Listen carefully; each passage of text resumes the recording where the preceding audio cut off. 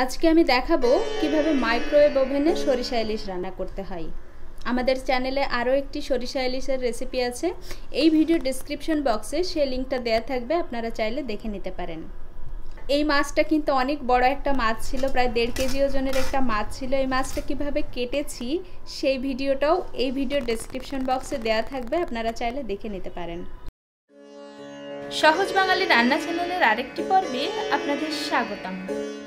তো সরিষা ইলিশ রান্না করার জন্য আমি এখানে দশ টুকরো ইলিশ মাছ নিয়েছি। মাছগুলো রেগুলার পিস করে কেটে নিয়েছি। এখন মাছে আমি একটু লবণ এবং হলুদ মাখিয়ে নেব। তো এখন মাছে দিয়ে দিচ্ছি আধা চামচ লবণ, আধা চামচ পরিমাণ হলুদ। লবণ, হলুদটা মাছে খুব ভালো করে একটু মাখিয়ে নেব। আমার মাছটা যেহেতু অনেক বড় ছিল, তাই আমি কোলের মাছ এবং গাদার মাছ আলাদা করে নিয়েছি। আপনাদের মাছ যদি ছোট হয়, আপনারা রিং পিস করেও কেটে নিতে পারেন। সমস্ত মাছগুলোতে আমার লবণ হলুদ মাখানো হয়ে গেছে।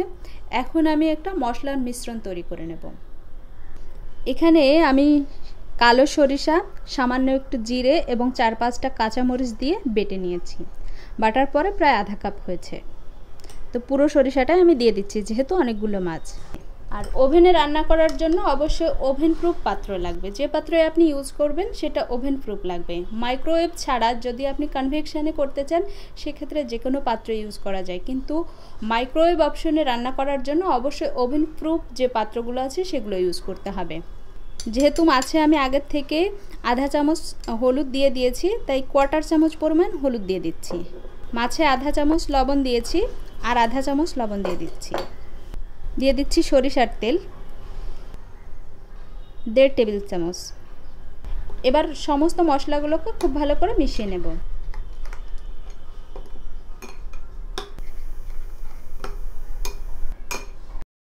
সরিষা বাটার যে বাটিটা ছিল, ওটা ধুয়ে আমি আধা কাপ মতো জল দিয়ে দিচ্ছি। গ্রেভিটা আপনারা যতটুকু পছন্দ করেন ততটুকুই দিবেন।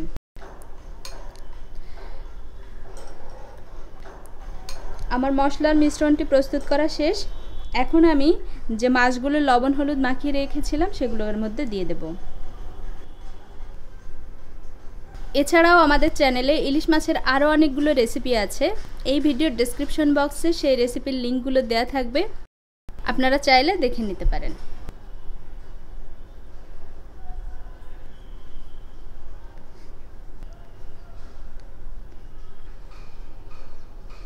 এখন আমি উপর থেকে দুই চামচ সরিষার তেল দিয়ে দিচ্ছি। যদিও সরিষা বাটার মধ্যে মরিচ ছিল, তা আমার মনে হচ্ছে কম হয়ে যাবে, তাই আমি আরও কিছু কাঁচা চেরা মরিচ দিয়ে দিচ্ছি।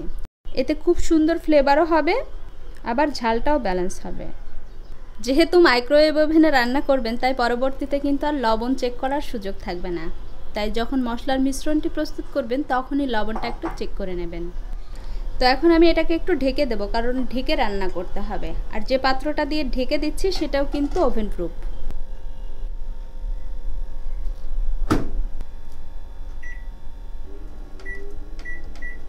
আমি মাইক্রোওয়েভে সাত মিনিট চল্লিশ সেকেন্ড দিয়েছি।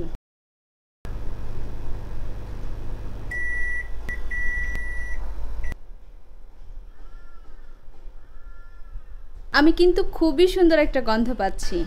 ইভেন যখন মাইক্রোওয়েভ ওভেনের মধ্যে ছিল, প্রায় পাঁচ মিনিট হয়ে যাওয়ার পর থেকে পুরো ঘরটা গন্ধে মমা করছিল। ইলিশের গন্ধ এবং সরিষার তেল এবং সরিষা বাটার ঝাঁজ দুটো মিলে খুবই সুন্দর একটা স্মেল পাচ্ছি। খুব সহজেই মাইক্রোওয়েভ ওভেনে তৈরি হয়ে গেল সরিষা ইলিশ। আর গ্যাসের চুলায় রান্না সরিষা ইলিশের রেসিপিটিও এই ভিডিও ডেসক্রিপশন বক্সে দেওয়া থাকবে, চাইলে দেখে নিতে পারেন। এখন একটা মাছ আমি একটু প্লেটে তুলে দেখিয়ে দিচ্ছি মাছটা কতটা সেদ্ধ হয়েছে। দেখুন, খুব সুন্দরভাবে সেদ্ধ হয়ে গেছে। ওয়াও, খুবই মজা হয়েছে, খুবই মজা হয়েছে। কোনো অংশে চুলায় রান্নার থেকে কম স্বাদ না। তাহলে আপনারাও বাড়িতে তৈরি করে ফেলুন। আর আপনাদের তৈরি রেসিপিটি কেমন হলো জানিয়ে দিন আমাদের কমেন্ট বক্সে আর রেসিপিটি ভালো লাগলে লাইক কমেন্ট শেয়ার করে বন্ধুদের জানাতে পারেন। ভিডিওটি এতক্ষণ দেখার জন্য ধন্যবাদ।